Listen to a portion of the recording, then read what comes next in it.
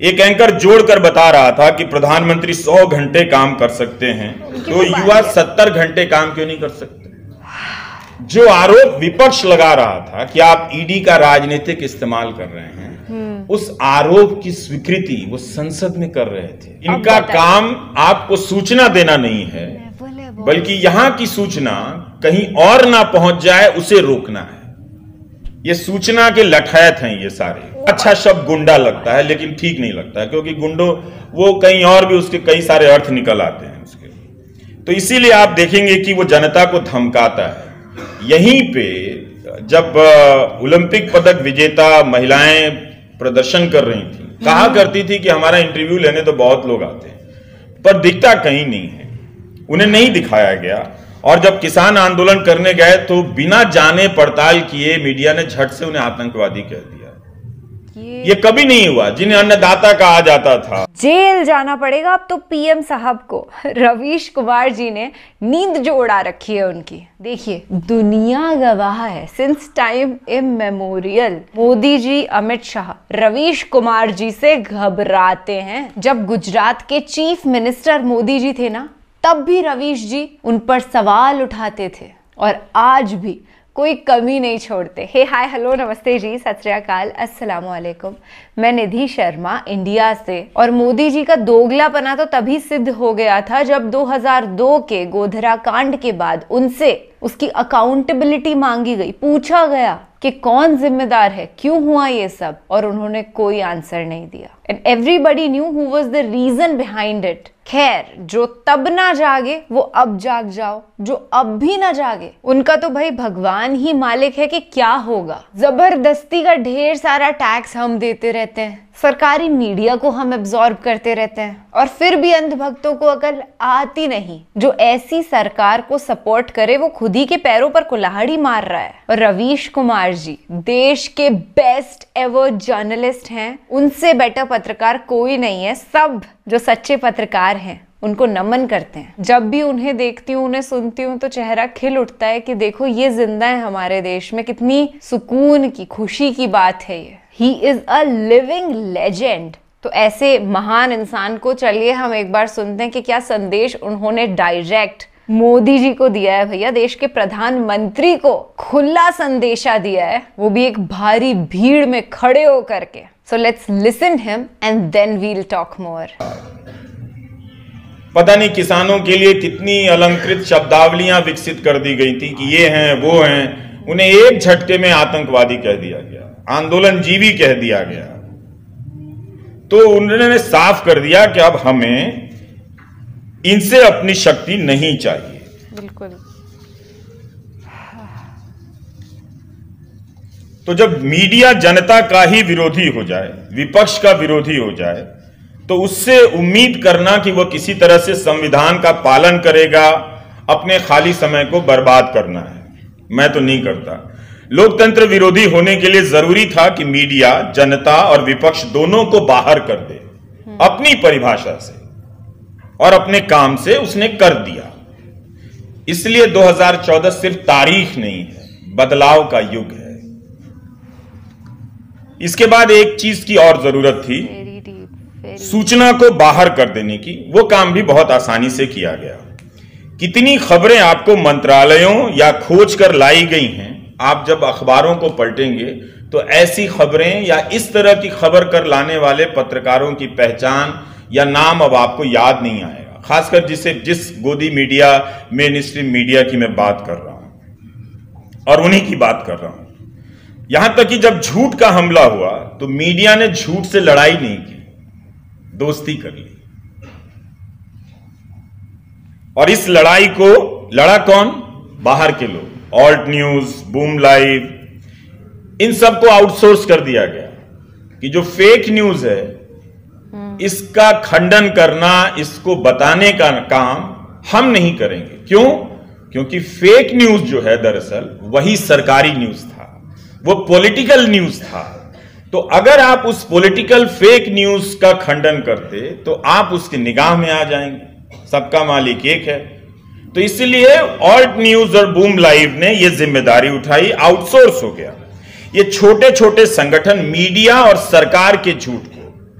अब फ़र्क करना बहुत मुश्किल है कि ये फेक न्यूज़ किसका है? सरकार का है या मीडिया का है? सरकार के लिए है या मीडिया के द्वारा फैलाया गया फेक न्यूज़ है? तो ये लोग अब लड़ रहे हैं। यह गोदी मीडिया भी अपने आप में सरकार का एक तरह से झूठ है। तो इसलिए जब आप मोहम्मद जुबैर की टाइमलाइन पर जाएँगे तो कमाल का काम मिलेगा। यह अकेला नौजवान सिर्फ़ भारत के फेक न्यूज़ की बात नहीं, इसराइल के समर्थन में जिस तरह के फेक न्यूज़ मटेरियल का इस्तेमाल होता है और जिस तरह से वो पर्दाफाश करता है, वो कमाल की बात है। तो ये सपना ये करने का सपना मीडिया के भीतर के लोगों का होना चाहिए था। पर उसका नहीं है। जो हर तीस तारीख को ट्विटर पर अनाउंस करता है कि मुझे इतने पैसे की ज़रूरत है अभी एक लाख ही आए हैं आप कुछ और पैसे दे। लेकिन विज्ञापन और आप सब पैसा दे रहे हैं अखबार को।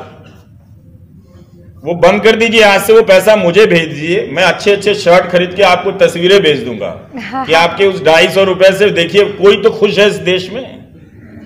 तो वो बंद कर दीजिए, नहीं, तकलीफ़ होगी, लेकिन बंद कर दीजिए वो काम। और बहुत सोच समझ के बोलता हूँ। तो आए दिन ये नौजवान अभी इसने, और हर दिन, ये जो समाचार एजेंसी है एएनआई इसके न्यूज़ को वो कितनी बारीकी से पकड़ता है। कई बार इस तरह से पकड़ता है कि डिलीट करना पड़ जाता है एएनआई को अपने ट्वीट से। हर समय वो पर्दाफाश करता। है तो वो लगातार तो पता है कि हर समय में मीडिया के भीतर एक विषय बनता है। और उस विषय के हिसाब से जो योग्य पारंगत लोग होते हैं, वो ले आए जाते हैं कहीं से।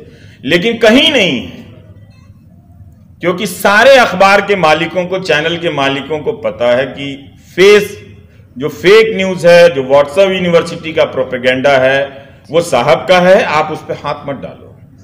ये काम करना आपका नहीं है, बल्कि हो सके तो उसी में से लेके कुछ अपना, अपनी शाम का डिबेट निकाल लो तो आज मीडिया के झूठ से लड़ने के लिए एक मीडिया चाहिए। अपने दम पर आपको ही खड़ा करने की ज़रूरत है। बिल्कुल बिल्कुल बिल्कुल आई अग्री इसीलिए कहा कि जो मौजूद नहीं है जिसका अस्तित्व नहीं है जो भारत में है ही नहीं उस मीडिया पर बोलना कितना मुश्किल है। गोदी मीडिया के पत्रकारों ने अपने भीतर के पत्रकार की पहले हत्या की। ये बहुत ज़रूरी था कि पहले अपनी संवेदनाओं को अपने पेशेवर क्षमता को कौशल को वो मारे तभी वो काम कर सकते थे। बिल्कुल। अब वो काफ़ी दूर निकल आए हैं।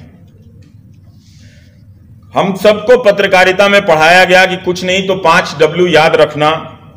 Who what when why where अब इसकी जगह एक ही डब्ल्यू है वॉट अबाउटरी का। उसी से ये काम चलाते रहते हैं।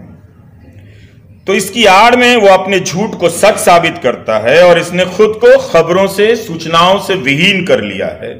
लोकतंत्र को जनता और विपक्ष से विहीन कर दिया है। इस मीडिया के स्क्रीन पर विपक्ष और जनता अब नज़र नहीं आती है। इसकी खबरों का अब एक ही चेहरा है प्रधानमंत्री नरेंद्र मोदी। सुंदर चेहरा है। इस चेहरे के बगैर उसके पास कोई और सूचना नहीं है। एक नई तरह की सूचना गढ़ी गई, ताकि लोगों को पता न चले कि सूचना गायब है। इन दस वर्षों में प्रधानमंत्री की लोकप्रियता अलग अलग राज्यों में घटती भी रही, बढ़ती भी रही, लेकिन उनके प्रति गोदी मीडिया एक समान से निरंतर निष्ठावान बना रहा, क्योंकि वह उनमें समाहित हो चुका है। वही उनके संपादक हैं, वही उनके समाचार हैं, वही उनके विचार हैं, वही उनके प्रचार हैं। आप सभी आचार हैं और बेकार हैं। इस मीडिया में आप मोदी, बीजेपी, आरएसएस, बजरंग दल सबके गुण देख सकते हैं। मगर विपक्ष को जब यह दिखाता है तो मरियल सा बताता है। उसका उपहास उड़ाता है। विपक्ष के सवालों को कभी जगह नहीं देगा।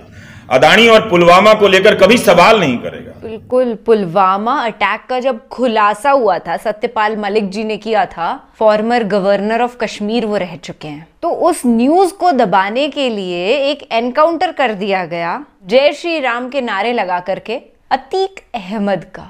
और जब ये इंसिडेंट हुआ आई वॉज़ शॉक्ड अचंबित हो गई थी मैं टू द कोर कि ये लोग सच्ची खबरों को छुपाने के लिए, अब किसी भी हद तक गुजरने के लिए तैयार हैं। मोदी सरकार की असलियत अगर एक्सपोज होने वाली है तो ये बॉलीवुड के ड्रामों में उलझा देंगे। हुआ था ना एक बार? पहलवान बेटियों की भी रवीश कुमार जी ने बात करी। विनेश फोगाट जी को तो आप जानते ही होंगे, उन्होंने कांग्रेस ज्वाइन किया है। उनको तहे दिल से हम सपोर्ट करते हैं। और यही उम्मीद है कि जो अन्याय पहलवान बेटियों के साथ हुआ है ना, वो उसके खिलाफ अब कुछ, बहुत कुछ कर पाएँगी। बलात्कारियों को तो ये सरकार सपोर्ट कर रही है। प्रज्वल रेवन्ना को तो जैसे सब भूल ही गए हज़ारों औरतों को उस हैवान ने परेशान किया था और आज उसका कोई अता पता नहीं है। बिल्कुल सही कहा रवीश जी ने कि पहले उन गोदी एंकर्स ने अपने अंदर के पत्रकार को मारा होगा, उसका कत्ल किया होगा, तब जाके आज वो ये दलाली कर पा रहे हैं। Otherwise it would have been impossible एक स्कीम चलाई हाल ही में योगी सरकार ने जिसके भी इंडिया के अंदर मिलियन से ज़्यादा सब्सक्राइबर्स हैं, वो लोग बस एक फॉर्म भरो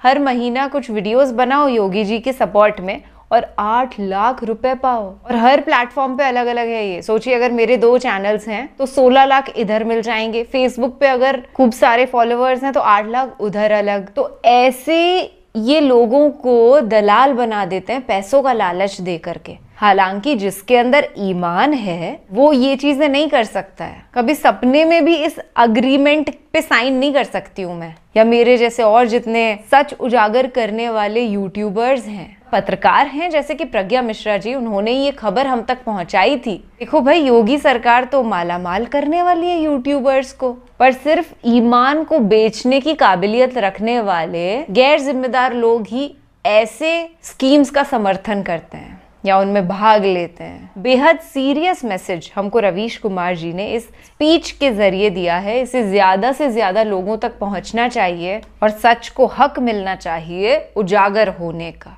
झूठ, नफरत, ये सब सर चढ़ के बोल रही हैं तो सच को भी हमें हक देना होगा। ख्याल रखिएगा अपना और अपने सभी घर वालों का, खुश रहिएगा। सच को ऐसे ही सपोर्ट करते रहना है दोस्त। सत्यमेव जयते। जय हिंद।